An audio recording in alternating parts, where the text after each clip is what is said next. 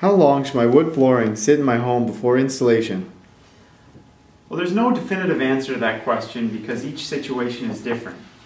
You need to consider things like whether it's a new home, cottage, whether there's a basement or crawl space, and even where the wood flooring is being installed geographically. The point of wood flooring sitting in a home is to acclimate the wood. This means allowing the moisture content of the hardwood flooring to adjust to normal living conditions. That is, the temperature and relative humidity levels that will typically be experienced in the home. We manufacture our hardwood flooring to a moisture content between 6 and 9%, which coincides with a relative humidity level between 30 and 50%, which we would consider to be normal living conditions. Our warehouse is climate controlled to a relative humidity level as close to 40% as possible. So in most cases, the wood flooring does not even need to acclimate at all. Why would a store tell me I need to acclimate the wood for one to three weeks? Big box and carpet stores don't understand the important relationship between wood and moisture. Before wood was properly kiln dried, the wood flooring needed to sit in the home weeks before installation to continue the drying process. Now wood is kiln dried, and in most cases this long acclimation isn't necessary. And having wood flooring sitting in an environment outside of our recommended 30 to 50% humidity range will do far more harm than good. Well, if that's the case, how long should my hardwood flooring sit in my new home?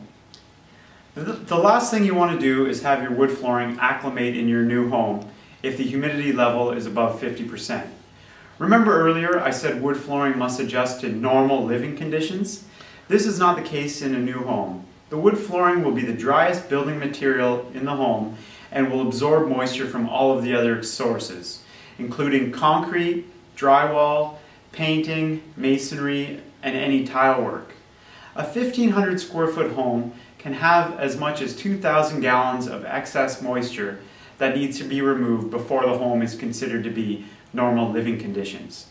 If the wood flooring acclimates to this high humidity environment, the floor will shrink and cause spaces between the boards when the home eventually dries out and reaches normal living conditions. So, what's different about a cottage or a three season home? Well, buildings that aren't heated in the winter are going to be exposed to higher humidity levels.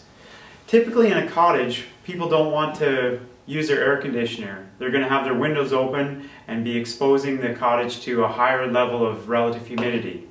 The wood flooring will need to acclimate to be at a moisture content level that corresponds with this relative humidity level, or else you're going to have issues. Another thing to consider is that the wood flooring will need to be within 2% of the subfloor. So if there's a crawl space or a damp basement, that will also need to be taken into consideration when acclimating your flooring for your cottage. What does geography have to do with acclimation? Well, different areas have different relative humidity levels. So the wood needs to be acclimated according to that. In the northeast where we are, we have extremes. In the winter, it's very dry, and in the summer, it's quite humid. So the wood needs to be acclimated somewhere in the middle. In the west, where it's typically very dry, the wood may need to acclimate and dry out. And in coastal areas, where it's typically more humid, the wood will need to sit on site and pick up moisture. So, if I listen to the recommendation of the big box and carpet stores and acclimate my wood for one to three weeks, what could go wrong? Well, if you acclimate your wood flooring in an environment that is too dry, the wood flooring will lose moisture and shrink. If it's installed that way, the wood flooring will expand when it reaches normal living conditions. This will cause cupping, and unfortunately, the cupping will be permanent. On the reverse end, if the wood flooring is acclimated in an environment that is too humid, like in a new home, the wood flooring will pick up moisture and expand. If it's installed that way, once the, wood, once the home dries out to normal living conditions, the wood flooring will shrink, creating gaps throughout the floor. Another issue that can be caused by either acclimating it to too dry or too humid conditions is width variations. And we actually have a video on that if you want to search So it. to recap, each and every situation is different.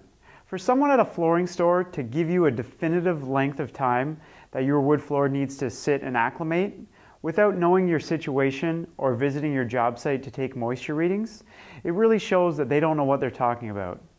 At Gaylord Hardwood Flooring, we are here to help you make informed decisions. Thanks for watching this video.